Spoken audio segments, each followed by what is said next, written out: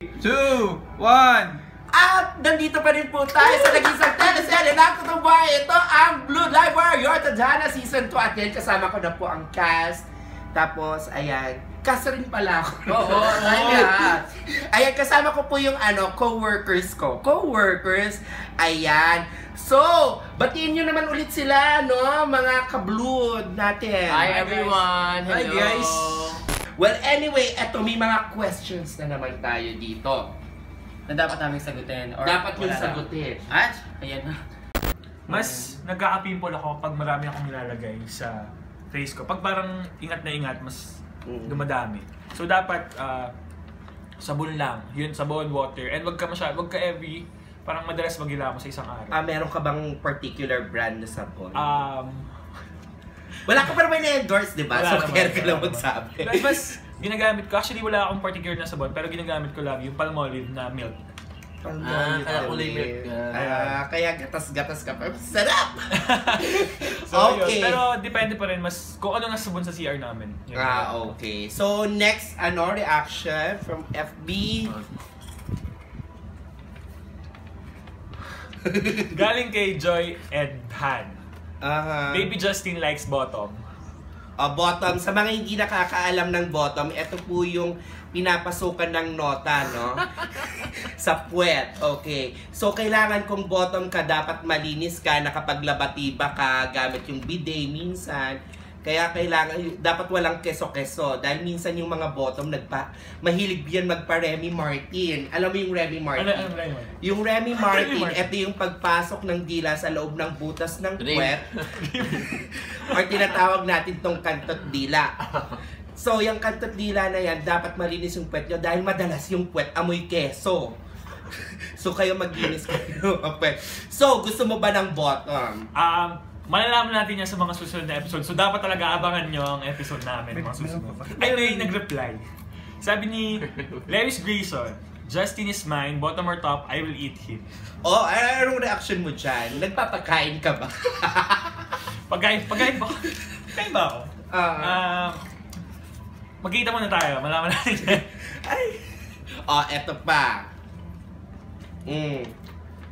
Sabi ni Pinoy Drama Academy, Ang lakas maka-alter nung name. Pinoy Drama Academy. Sana soft subs or caption na lang para hindi nakakaharang sa bulges like yung shirtless scene ni Justin from a few eps ago. Hehe.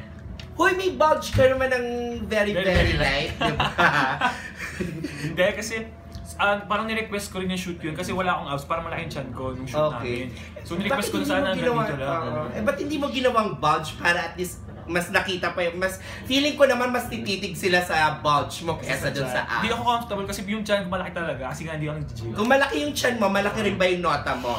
Ba't di mo tingnan para malaman? Ay, may nag-ano, OP daw, OP Eusebio. Oo, si Opie mismo nag-comment, ang sarap ng lechong manok with rice. Favorite ko talaga yon in real life.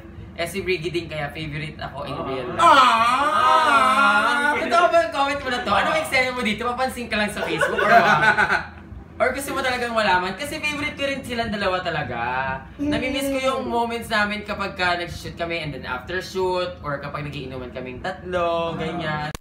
Tapos nag-comment naman si Marcos, ang epal mo OP. Nagre-review kami ni Yosef eh. Ang dami yung likers ha, pero pag ako nagko-comment sa series natin, walang pumapansin sa akin.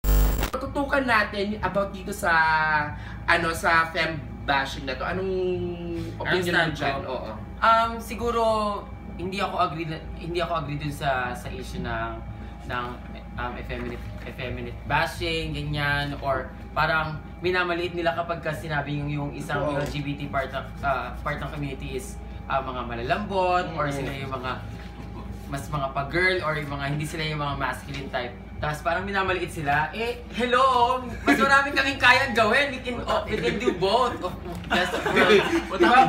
Pwede kaming magpa-girl, pwede kaming magpa-kalalaki. Pwede kaming magpatira, pwede rin namin kayong tirahin. Pwede Diba? tirahin. So, ang tanong ng bayan, Joseph, are you top or bottom? I'm Versa. Versa top or Versa Nakakaloka yung Versa.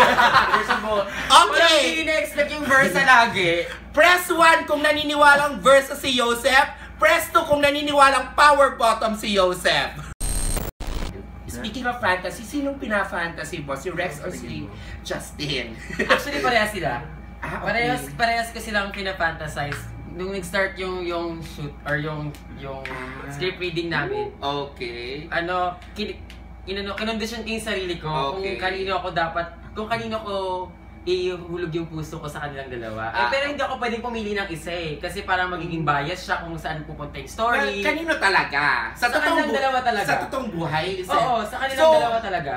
Ayokong mawala yung ano, yung parang ma-fulfill yung fantasy ko. Gusto ko clueless ako kung meron ba or wala. Para sa isip ko, alam kinikilig ako, gusto kong malaman, confused pa rin ako kung ano talagang meron siya, ganyan. Ah, okay. Well, anyway. Yes, in character lang. In character. lang lagi. Contest. Para hindi ko siya malose.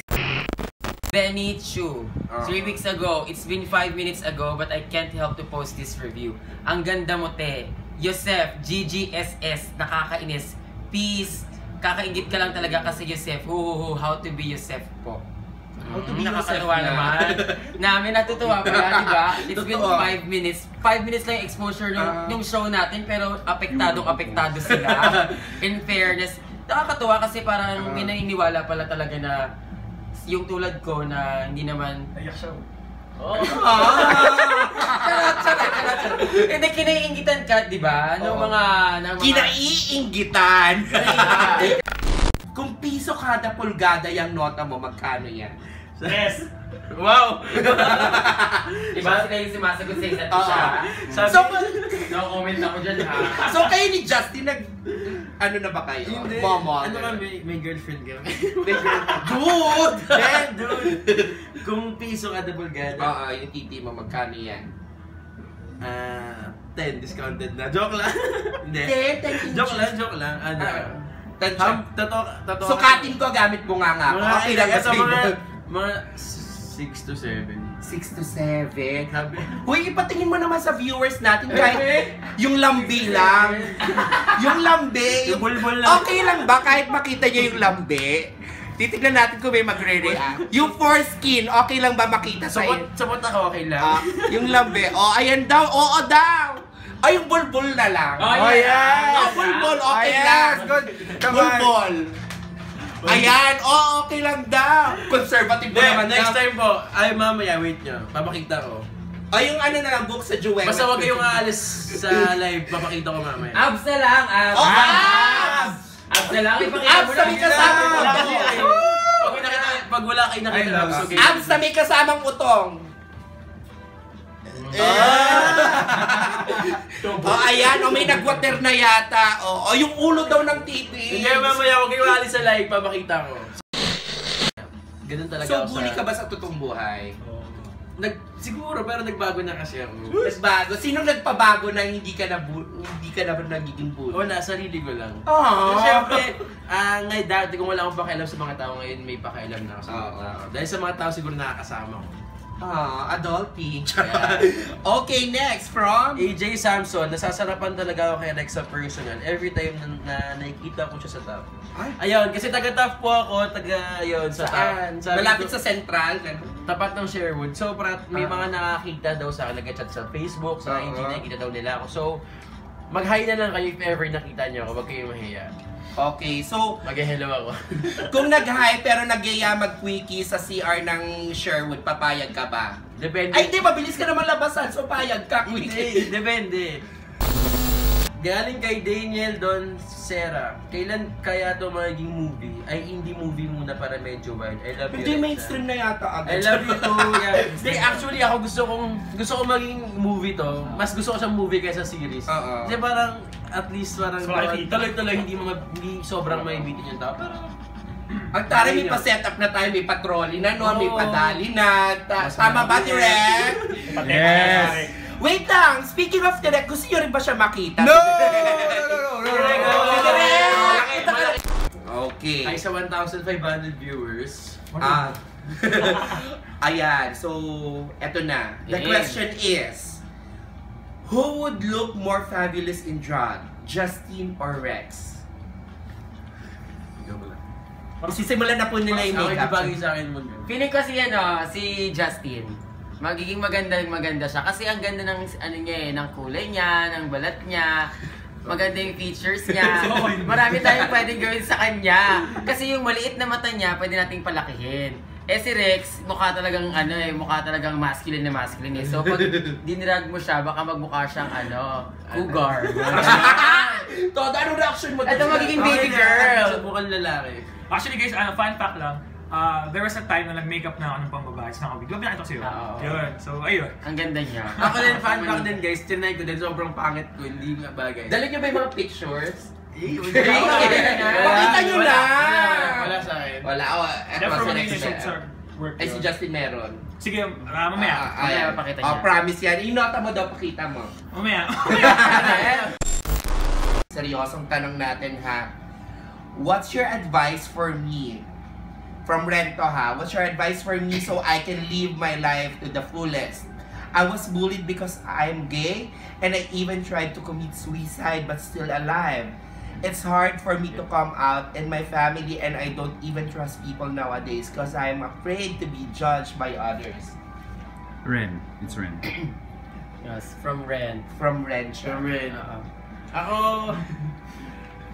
Ang seryoso naman ni Ren. Sa Hindi, actually ako hindi ako magaling mag-advise sa mga ganyan bagay. Pero ako, ah magbibigay na ako sa inyo ng quote. Ah, yesterday is a history, tomorrow is a mystery, today is a gift. That's why tinawag nila yung present. So, habang nabubuhay ka, huwag kang matakot kasi alam mo, alam mo at alam ko rin na ka- makakaya mo yan. Yan. And I. Ako Thank naman, you. girl, Ren, wag kang mag-suicide. Life is precious. That's the best gift na natanggap natin sa creator natin or kung sino man siya na gumawa sa atin. Nang nanay mo, di ba? Maraming malulungkot pag namatay ka. Don't Yun, end your yun, life. yun. Please, it Tama. will get better. Every day is a struggle. Every day is a challenge na we have to face. Kung walang tumatanggap sa'yo, it's okay. Kasi bukas, mamaya, hindi mo alam kung ano lang, mangyari. Magkakaroon dyan ng support group, magkakaroon ka ng kaibigan, magkakaroon ka ng someone na pwede kang mag-share. Always explore. Huwag kang mag-suicide. Never an option, okay? So never do that again. And kapag ka meron kang kakilalang katulad mo, di ba? Tanungin mo sila kung parehas ba kayo ng, pinag, ng problema or ng karanasan or ng experiences. Malay mo naman, di ba? Magkahulugan kayo ng loob. Maging security niya yung isa't isa. Magtulungan kayo, di ba? Para maisalba niyo rin yung isa't isa. Ganun. Sure. Always look for answers, not by ending your life. Okay. How about you, Justin? Ah, katulad doon sinabi ni Briggs tsaka ni Marcus. Yun na yun. Bakit mo, bakit mo, magiging, hindi magiging solusyon sa problema ang isang pro- isa pang problema. Paano na lang, isipin mo paano na lang yung ah, family mo pag nawala ka. Mas malaking problema. O, practically speaking, isipin natin. Gastos practically speaking, Oo, gastos yan. Ang mahal ng libing. Ang mahal ng libing. Kung walang St. Peter, no? Pang ano mo na lang. kung nakikita mo naman na naawa, ka sa sarili mo, maawa ka rin sa family mo kasi syempre ay di naman nila dito. wala ka. Parang mag-isip ka lang lagi ng practical na bagay. Ayun, umaten ka ng Your Tadhana finale party. 27. 27. Ah, October, October? 27. October 27. Ang mangyayari sa October. Well, anyway, ayun na nga pala. My name is Timo Bryson B. Aurelia. You can call me Queen Bridget Olga. At ito ang Blue Live War, Your Tadana Season 2! Ah, thank you po sa lahat ng sumusuporta. Tapos si gaganda. TV-TV. O, CDB daw.